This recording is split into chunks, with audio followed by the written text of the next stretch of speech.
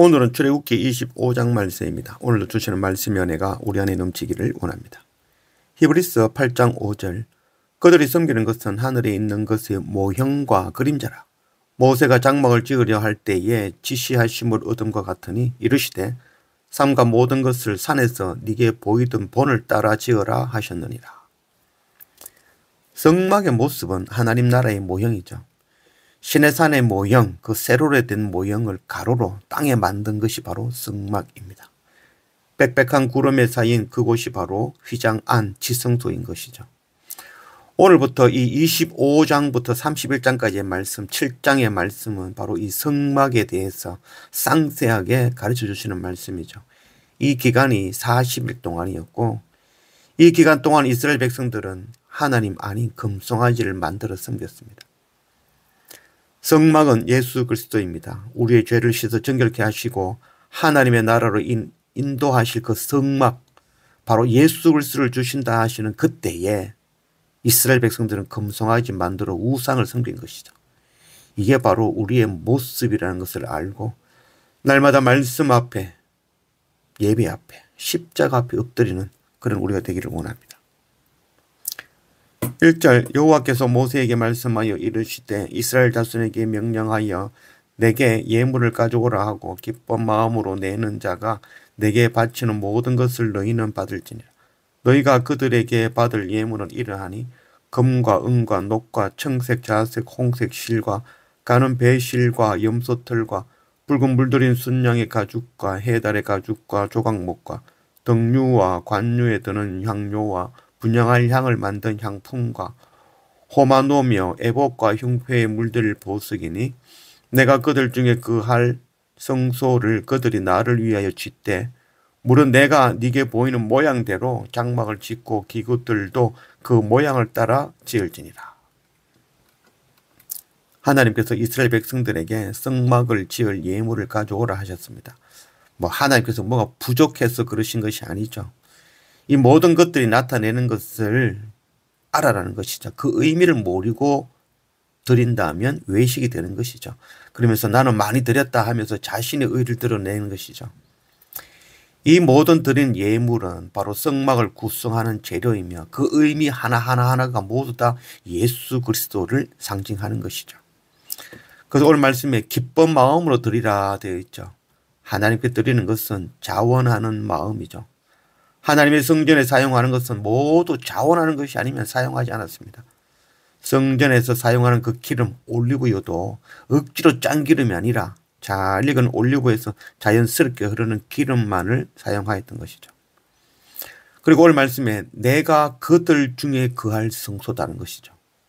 하나님께서 우리 안에 거하시며 우리의 죄를 사하시고 우리를 하나님 앞으로 인도하기 위하여 우리 안에 오시는 예수 그리스도를 상징하는 것이죠. 예수 그리스도께서 우리 안에 오시고 십자가 보혈의 피 뿌림으로 우리의 죄를 정결케 하고 우리를 하나님 앞으로 하나님의 나라로 인도하여 주시기 위하여 우리 안에 성소로 주님께서 오신 것입니다.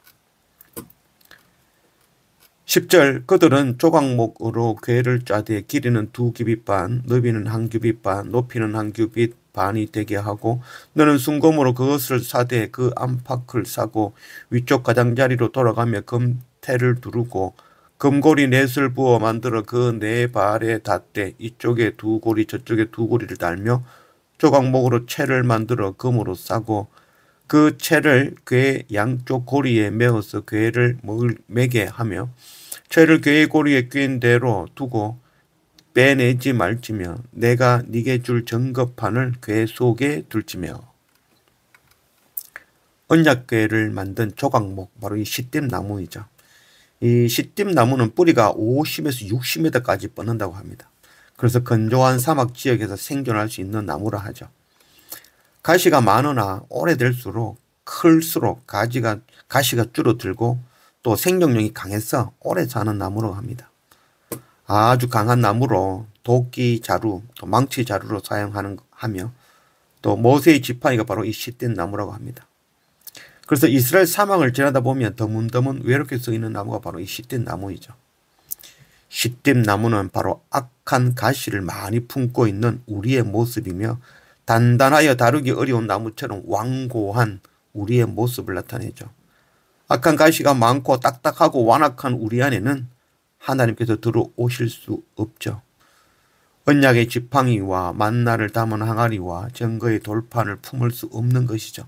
그래서 방법은 바로 정금 되시는 주님의 보혈로 안팎을 감사라라고 말씀하고 있는 것이죠. 17절 순검으로 속죄수를 만들 때 길이는 두 규빗 반, 너비는 한 규빗 반이 되게 하고 그룹들은 그 날개를 펴서 그 날개로 속죄수를 덮으며 그 얼굴을 서로 대하여 속죄소를 향하게 하고 속죄소를 궤 위에 얹고 내가 네게 줄 전거판을 궤 속에 넣어라. 거기서 내가 누와 만나고 속죄소 위곧 전거궤 위에 있는 두 그룹 사이에서 내가 이스라엘 자손을 위하여 네게 명령할 모든 일을 네게 이르리라. 어, 앞서 말했던 그 언약궤는 뚜껑이 없는 박스를 말하는 것이고 이제 이 속죄소라는 것은 바로 언약궤의 뚜껑이 되는 부분이죠. 그래서 그 크기가 언약궤와 똑같이 만드는 것이죠. 그리고 이 속죄소는 나무가 아니라 순금으로 만들었죠. 그리고 그 위에는 두 그룹이 서로 마주 보게 만들고 날개를 펴서 속죄소를 덮게 하였습니다.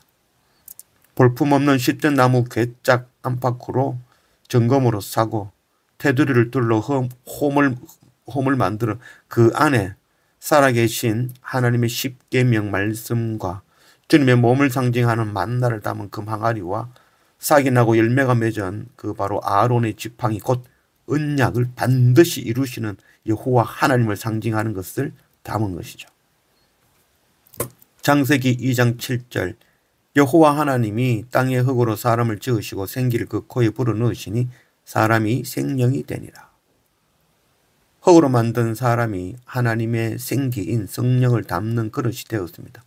흙으로 만든 사람 안에 들어오신 성령으로 인해 사람은 생명, 곧 살아있는 존재가 된 것입니다. 점검으로 만든 속죄수는 우리의 죄를 덮음을 의미하죠. 그 점검이신 그리스도의 몸으로 우리의 죄를 속죄하시고 우리를 덮어주신 것이죠. 사도행전 1장 8절 오직 성령이 너희에게 임하시면 너희가 권능을 받고 예루살렘과 온 유대와 사마리아와 땅끝까지 이르러 내 정인이 되리라 하시니라. 하나님 정거의 말씀을 품고 예수 그리스도로 덧입고 죄사함을 받은 자는 머물러 있을 수 없습니다. 말씀을 담은 언약계가 되어 땅끝까지 가서 전하라고 말씀하신 것이죠. 이 언약계와 속죄소는 지성소에 모셔졌습니다. 지성소는 그룹이 새겨진 휘장으로 가려져 있고 그곳은 1년에 한 번 대제사장만이 들어갈 수 있는 곳이었죠. 이 휘장은 바로 예수 그리스도가 십자가 고난 당하시면서 그 죽음으로 위에서 아래로 찢으셨죠. 이제 우리는 예수 그리스도의 이름을 힘입어 지성소로 나아갈 수 있게 된 것이죠.